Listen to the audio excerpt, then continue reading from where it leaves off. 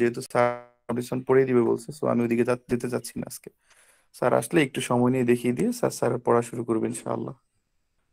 তো গতকালকে স্যার আমাদেরকে বোর্ডল্যান্ডের বইটা থেকে যে থেকে যে স্কলারশিপটা পড়িয়েছিল জাস্ট এইটাই রিপিট করব আমি ইনশাআল্লাহ। স্যারের মানে লেকচারটা আমার নোট নেওয়া আছে, আলহামদুলিল্লাহ। আচ্ছা আমি শুরু করি হ্যাঁ? বিসমিল্লাহ রহমান রাহিম। যে স্কলারশিপ যে এই মেডিসিনটা ডাইজেস্টিক অ্যাঙ্গেল থেকে চিন্তা করে মানে চিন্তা করলে যদি এই অ্যাসকুলাসিভ মেডিসিনটাকে যদি ডাইজেস্টিক অ্যাঙ্গেল থেকে চিন্তা করা যায়, তাহলে কিছুটা মানে চিন্তা করলে যারা কিছুটা বয়স্ক মানে যারা কিছুটা বয়স্ক, কিছুটা দেহটা ভাঙতে শুরু করছে, সেই ধরনের রোগীদের ক্ষেত্রে এর ব্যবহার হতে পারে। এটাও বলছে যেটা ইয়াংদের ক্ষেত্রে তেমন একটা বেশি দরকার হয় না। স্কুলাসিভ মেডিসিনটা ইয়াংদের ক্ষেত্রে তেমন একটা বেশি দরকার হয় না। তাহলে আমরা যদি যে ডাইজেস্টিভ এই অ্যাঙ্গেল থেকে একটু চিন্তা করি, তাহলে যারা কিছুটা বয়স্ক প্লাস যাদের দেহটা কিছুটা ভাঙতে শুরু করছে, সেই ধরনের রোগীদের ক্ষেত্রে এটার ব্যবহার হতে পারে স্কুলারশিপের ব্যবহার হতে পারে এবং ইয়াংদের জন্য এটার ক্ষেত্রে তেমন একটা লাগে না। কেন লাগে না? এটার বিস্তারিত আলোচনা করছে বোরল্যান্ড ইনশাল্লাহ আমরা নিচে গেলে আরও ক্লিয়ার হব।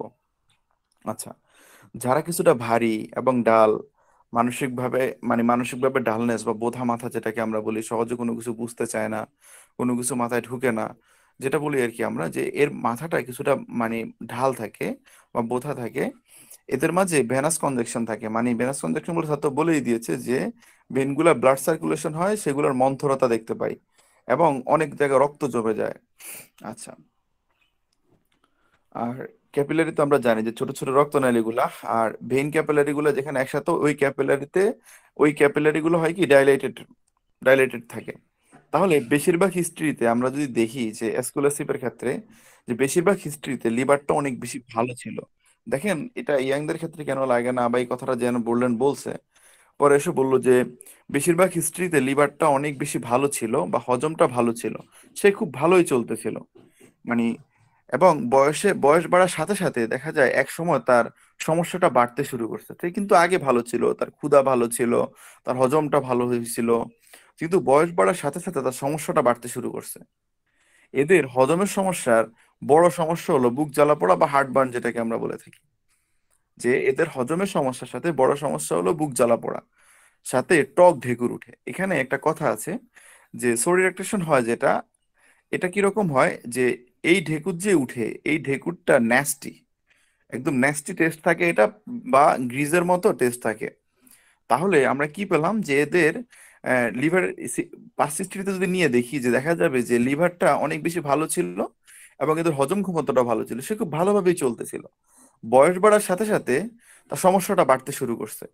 এদের হজমের সমস্যার বড় সমস্যা হলে এদের বুক জ্বালা পড়া করে, সাথে অম্ল ঢেকুর উঠে এবং এই ঢেকুর উঠে এই এটা টেস্টটা কেমন থাকে? এটা টেস্টটা খুব ন্যাস্টি থাকে, যে তিক্ত স্বাদ লাগে বা দেখা যায় যে গ্রিজের মতো টেস্ট লাগে তার কাছে। আচ্ছা। আরেকটা যেটা দেখলাম যে দুধ খাওয়ার পর পেট ভরে যায়, যে দুধ খাওয়ার পরে পেট ভরে যায়, ফুলে যায়। আচ্ছা একটু করে নিই। আচ্ছা যে দুধ খাওয়ার পর এদের পেট ভরে যায়, ফুলে যায় বা অস্বস্তি ফিল করে এবং খাওয়ার পর পেট ব্যথা হয়। যে দুধ খেলে এদের অ্যাগ্রাভেশন সমস্যাটা বাড়ে দুধ খেলে এদের অ্যাগ্রাভেশন হয় বা এদের সমস্যাটা বাড়ে এবং অনেক সময় এইটা জ্বালাকর হয় এবং যে নেক্সট মিল পর্যন্ত, যে যতক্ষণ এটা চলতেই থাকে এবং সেকেন্ড মিল খেলে তার কিছুটা রিলিফ হয়। মানে সে সকালে খেলো, দুপুরে যদি খাওয়া পর্যন্ত, এই সময়টা পর্যন্ত তার এই অবস্থাটা চলতে থাকে। তাহলে আমরা এখানে কি সিমটমটা পেলাম? যে দুধ খাওয়ার পর পেট ভরে যায় স্কুলাসের এবং ফুলে যায়, অস্বস্তি ফিল করে। খাওয়ার পর এদের কি হয়? এদের পেটে পেইন হয় এবং দেখা যায় যে নেক্সট মিল যে পরবর্তী খাবারটা সে নেওয়া পর্যন্ত তার এই অবস্থা চলতে থাকে এবং যদি সে নেক্সট মিলটা নেয়, তাহলে তার কিছুটা রিলিফ হয়। অনেক সময় দেখবেন যে যাদের এই সমস্যা থাকে যে খাওয়ার পর পেট ফুলে যায়, টক ঢেকুর উঠে, এরপর তার বমি বমি শুরু হয়, সেটা কেমন হয়? যে বমিটা হয় টক মানে টক টক বা তিতা টাইপের বমি থাকে, যেটাকে আমরা আগেই পড়েছিলাম যে এটা ন্যাস্টি টেস্ট থাকে বা এটা গ্রিজের মতো টেস্ট থাকে। আচ্ছা পেট খালি হওয়ার পর সে কিছুটা আরাম অনুভব করে। তার স্কুলাসের পেশেন্টগুলা যে পেটটা খালি হওয়ার পরে সে কিছুটা আরাম আরাম অনুভব করে। আচ্ছা এই যে একটা কথা বলেছিল যে রুগীর পেট পরীক্ষা করলে দেখবেন যে তার লিভারটা ফুলে আছে। লিভার এনলার্জমেন্ট দেখতে পাবেন আপনারা এখানে, যে রুগীর অ্যাসকুলাসের পেশেন্টগুলোর ক্ষেত্রে রুগীর পেট পরীক্ষা করলে দেখবেন তার লিভারটা ফুলে আছে। এগুলোর সাথে যে পূর্বের কমন লক্ষণগুলো পাবেন। মানে এই যে পেটটা ফুলে আছে অ্যাসকুলাসের আগে যে লক্ষণগুলো দেখতাম, যে সোর ইরেকটেশন হচ্ছে এবং যে খাওয়ার খাওয়ার পরে তার পেট ব্যথা হচ্ছে এটা নেক্সট মিল পর্যন্ত, ততক্ষণ পর্যন্ত সে পরবর্তী খাবার খাচ্ছে না। এই পর্যন্ত এটা চলতে থাকে। নেক্সট মিল নেওয়ার পর সে কিছুটা রিলিফ ফিল করে। এই যে কথাগুলো, এগুলো অবশ্যই এই সিমটমগুলো দেখা যাবে।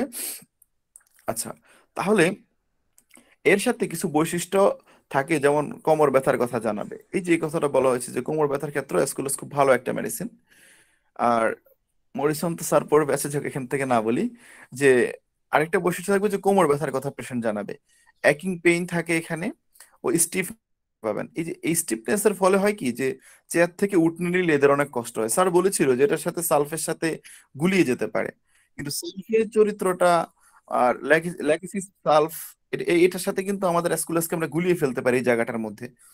সালফের যে ব্যাপারটা যদি আমরা দেখি, সালফের ব্যাপারটা পুরোপুরি আলাদা। ল্যাকিসিসের ব্যাপারটার সাথে তো এটার কোনো মিলই নেই মানে মানসিক দিক থেকে। সে অন্য অন্য সিমটমগুলো মিললেও মানসিক দিকটা টোটালি মিলবে না। যাই হোক এটা নিয়ে সামনে আলোচনা হবে ইনশাআল্লাহ। তো যে সালফের ক্ষেত্রে যেটা, এই যে উঠতে গেলে সমস্যাটা হয়, আর সালফের আরেকটা একদম কমন স্ট্রং একটা সিমটম রয়েছে, সেটা হচ্ছে স্ট্যান্ডিং অ্যাগ্রাভেশন সালফের পেশেন্টগুলো হয় কি, যে লং টাইম দাঁড়িয়ে থাকতে পারে না। লং টাইম দাঁড়িয়ে থাকলে এদের সমস্যাগুলো বাড়ে। আচ্ছা আমরা একটু দেখি যে এই এদের, এই যে কোমর ব্যথা থাকে, অবিরাম ব্যথা থাকে এবং স্টিফনেস দেখতে পাবেন আমরা। স্টিফনেস দেখতে পাবেন এই পেশেন্টগুলোর মাঝে। চেয়ার থেকে উঠতে নিলে এদের অনেক বেশি কষ্ট হয়। তারা ইজি চেয়ারে বসে থাকে বা ওঠার সময় এরা অনেক বেশি, আপনি যখন এদেরকে দেখবেন যে অনেকগুলো পেশেন্টের ক্ষেত্রে দেখবেন যে তারা ইজি চেয়ারে বসে থাকে বা অনেক সময় তারা বসে আছে, ওঠার সময় তারা অনেক বেশি স্ট্রাগল করতেছে। পিঠটা ধরে সে এর পরে উঠে। আচ্ছা স্টোমাকে সমস্যার ফলে যে স্বাভাবিকভাবে যেটা রুচিটা ভালো থাকে না স্টোমাকে যদি কোনো প্রবলেম দেখা দেয়, এটা কমন একটা সিমটম যে পেশেন্টের রুচিটা ভালো থাকে না। এটা পেশেন্টের মাঝে আমরা রুচির অভাবটা দেখতে পাবো। এদের এই যে অ্যাসকুলাসের পেশেন্টগুলোর ক্ষেত্রে যে আমরা এদের পিপাসাটা বেশ থাকে বা পিপাসাটা বেশ ভালো থাকে, এই রুগীরা সবসময় কোষ্ঠকাঠিন্য ভুগে। পেশেন্টগুলোর মধ্যে আমরা কনস্টিপেশন দেখতে পাই। দেখা যায় প্রায় খুব ব্যথা যন্ত্রণাযুক্ত, পাইলসেরা আক্রান্ত হয় এবং যন্ত্রণায় মনে হয় র্যাকটমে যেন শলাকা ভর্তি হয়ে আছে। মানে র্যাকটমের মধ্যে কি পরিমাণে কষ্ট পাইলে, কি পরিমাণে সাফারিংস থাকলে এই জিনিসটা পেশেন্ট ফিল করে? এটা একবার চিন্তা করলে বোঝা যায়। যে স্টোমাকের সমস্যার ফলে এদের রুচি থাকে না, এদের রুচির অভাব থাকে, এদের পিপাসাটা ভালো থাকে, এই রুগীরা সব সময় কনস্টিপেশনে সাফার করে।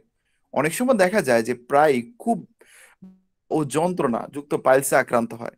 এদের যন্ত্রণা মানে তাদের এই যন্ত্রণা মনে হয় র্যাকটমের শলাকা ভর্তি হয়ে আছে বা গ্লাস সেন্সেশন হয়, যেখানে অনেকগুলো গ্লাস ঢুকিয়ে দেওয়া রয়েছে।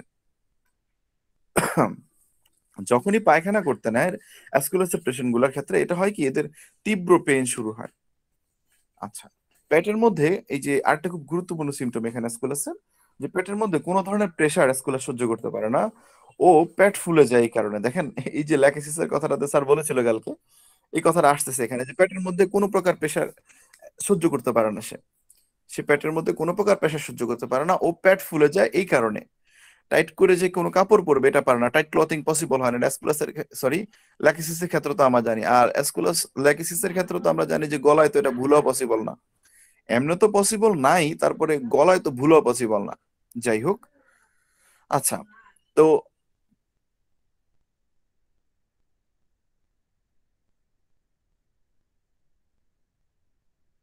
সরি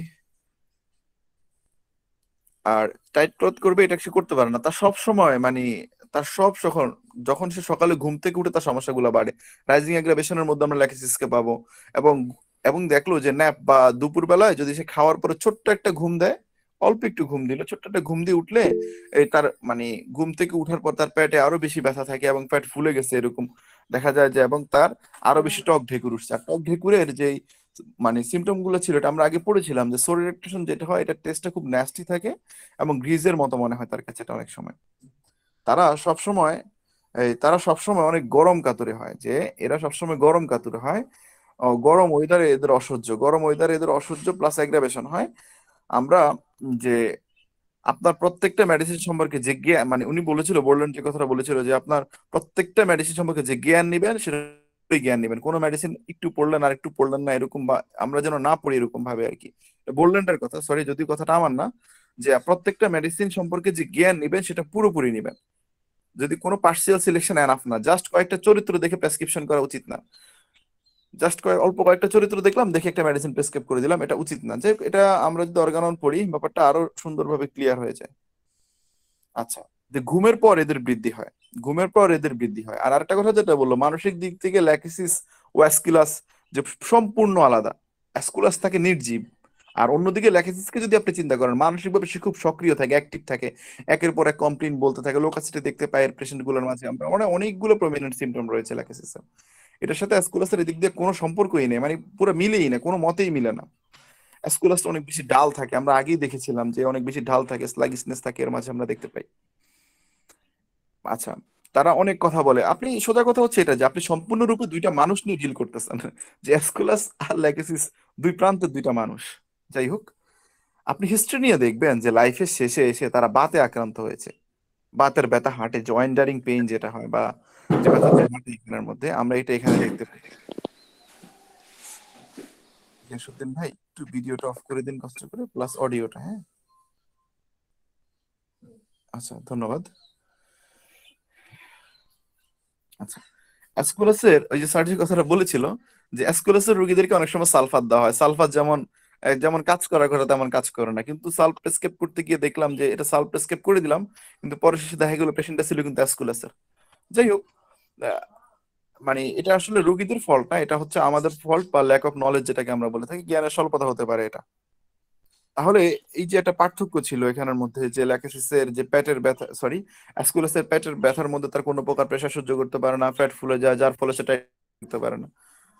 এটা খুবই গুরুত্বপূর্ণ একটা সিমটম যে আরেকটা হচ্ছে যে এর সাথে ব্যাক পেইন থাকে ব্যাক স্টিফনেস আমরা দেখতে পাই সোর ইরিটেশন হয় টক ঢেকুর উঠে, পেটটা খুব ন্যাস্টি থাকে, এগুলো খুব ইম্পর্টেন্ট সিমটম মেডিসিনটা স্যার কালকে আমাদের এতটুকুই পড়িয়েছিল।